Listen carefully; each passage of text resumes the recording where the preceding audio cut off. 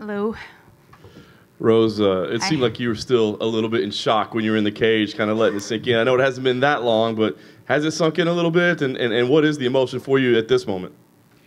Uh, just gratitude. Um, yeah, it's been a rough week um, up until you know the fight started. It was just uh, seemed like everything was, you know, trying to distract me and and be thrown in my face and uh, just you know, but everything I just kept listening to my coaches and um, just trusting them, trusting myself, and you know I got the job done.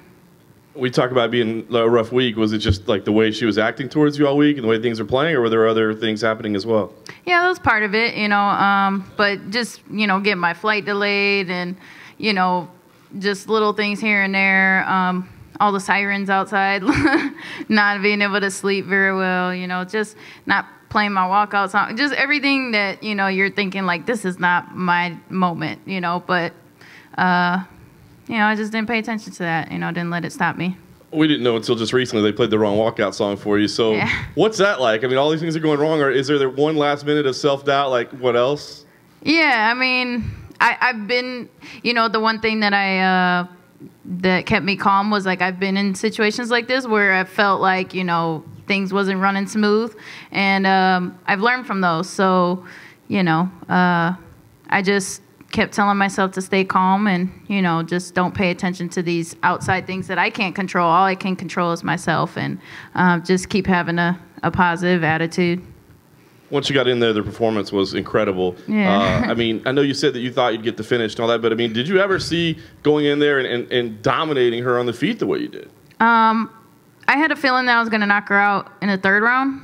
Uh, so for it to happen in the first is great, you know. Especially it's kind of a weird, uh, weird coincidence, but it happened at three minutes and three seconds, which is our gym name and our area code, uh, you know, Denver, which you know I can't wait to get back to.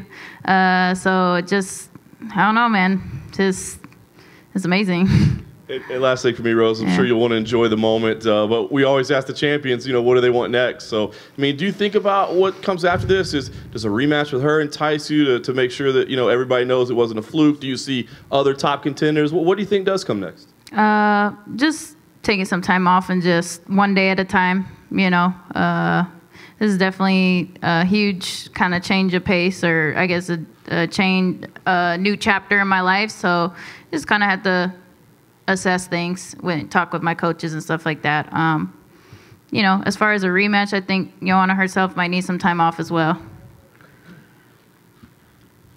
A question here, Joanna. Congratulations on the belt, first Thank and you. foremost. After the fight, you said to Joe Rogan, "This belt doesn't mean anything. Be a good person." Yeah. So now that you're a champion and you can reach a greater audience, Yeah. how do you want to get that message through? Um, well, for one, I think that martial art, uh, mixed martial arts has been, uh, you know, there's just been a lot of trash talking and, and things like that, and, and just people that I, I feel like, you know, aren't really being true to themselves or being honest, you know, um, and I don't know, maybe that's just you know what they feel they need to do and for to to entertain things. But I'm just kind of sick of it. I'm sick of all the hate and um, you know anger and stuff like that going into you know. eh, I feel like we have a duty as you know fighters to try and be a better example. You know, martial arts is about honor and respect. You know, um, you know, it, it takes a lot of courage to get in that cage, and you know, no matter who you are. So, uh, yeah, I just, I just want to try and set an example in that way, and then, you know, just the rest of the world too. I think that there's a lot of, um, you know, negativity out there. Everywhere you look is just, just negative all the time, and I'm just, just trying to, just trying to be that positive light as much as possible. You know, I mean, I'm not perfect either, but uh, maybe this will, you know, we'll we'll figure out a way to make this world a better place. And can you tell us how uh, Pat Barry's reaction was backstage and how is he feeling right now? Uh, um, he's definitely probably feeling very similar to myself. Just, uh, um, yeah, I don't know. It's hard to describe. kind of numb to everything, actually.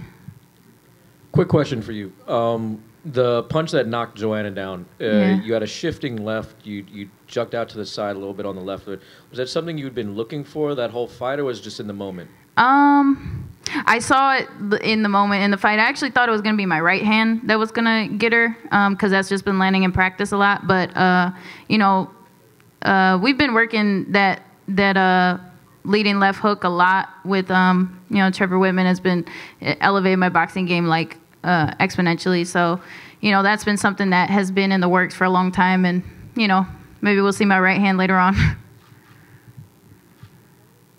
Over here.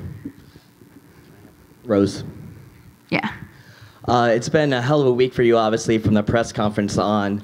Fill in the blank right now. Rose is feeling what? Are you? Uh, do you want to say screw you to the doubters out there? Do you feel relieved? Do you feel stoked? Like Rose is blank right now. Rose is grateful, and Rose is content.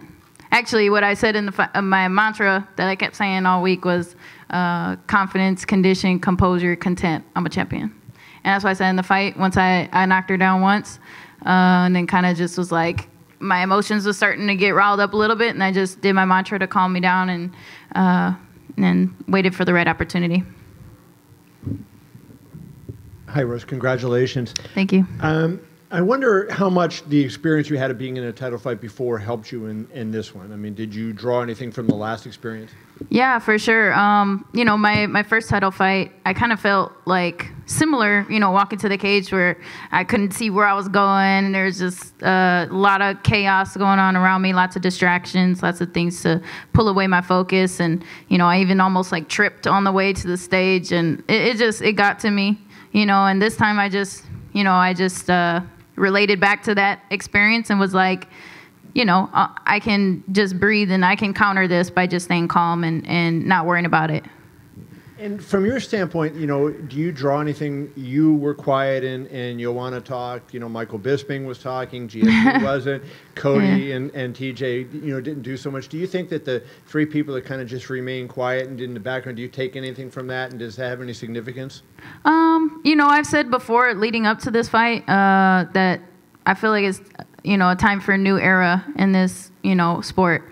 Um, I think we have a great opportunity as fighters and athletes to to be good role models. You know, um, like I said, I'm, I'm, by no means perfect, you know, but I think we could try. And um, yeah, it's just it's just hard, you know. Like I I used to fight with hate, and sometimes you know there's been a lot of aggression in my past, um, growing up and stuff. Um, but that's just because I'm you know I was hurt, you know myself, and so uh, I learned that love is such a more sustainable energy to draw from than hate. Can you elaborate on that, Rose? Because I know we were talking before about the, you know, the volatility that you've experienced in your life, and here you are facing this un, undefeated, unbeatable, perhaps fighter. How did yeah. you use your past to basically overcome the yeah. Joanna challenge? I mean, I've had a lot of nightmares and dreams of just old, you know, memories haunting me and stuff. Um, and she was just kind of, you know, I, I, don't take it personally against her. You know, I think it's just she was just a personified. Like that's why I kept saying like it, it's just me that I'm fighting against. You know, all all the stuff that all the negativity that I felt coming from her. It just it just reminded me of where I came from. You know, and uh, you know, I, I wasn't gonna let that shut me down. You know, and that's why, um, you know, she she's she's a you know awesome fighter and stuff, but uh, I've just I've dealt with a lot worse in my life. Yeah. How you doing, Rose? Hey. Uh, I only have one quick question. Uh, can you tell us what Pat told you in your ear before you stepped into the octagon? Yeah, every time he tells me something, uh, like that moment, he always says something super like beautiful and poetic, but I just can never remember it because I'm so in the moment. Uh-huh. yeah, my bad. You can ask him if he remember, but he usually he don't remember either. Well, congratulations. Oh, all you got to do is just be you. yeah, that's usually Thank you, that's Pat. a good line. yeah. R- Rose, you were very open before the fight about your mental health difficulties, which is difficult for anyone to do, let alone someone who's in the public eye. Yeah. Why was it important for you to, to bring that o- out into the open? Was it for you doing Yeah. that, or was it to, to help other people? Uh, or both? Um, I was, you know, I've, I've mentioned that it's, uh, I, it's a history of it in my family, and so that's something that I, I didn't have my dad in my life because of it, and um, you know he has schizophrenia, and uh, yeah, it's just something that I, I've only had my mom and my brother in the States, you know, other than like a few distant relatives, but all my family's in Lithuania. And, you know, it's just, it, it's just, a, it's been a hard life, you know, hard road uh, coming up since I was little. And um, it's just something that, you know, I guess I'm, I'm really grateful for this opportunity to, to kind of like overcome this. Uh, and, you know, I'm kind of grateful that Joanna's tried to poke at that because now I was able to look into it and read books on it and kind of study, really trying to understand what mental illness is. And I realized that we're all kind of, we're all pretty normal. We're all kind of the same. We all got our issues, but you know, it's something that we can get stronger at. It's you know, just like your your mind is just like your body. You know, it's a, a muscle that you can train and you can get better at. Thank you guys.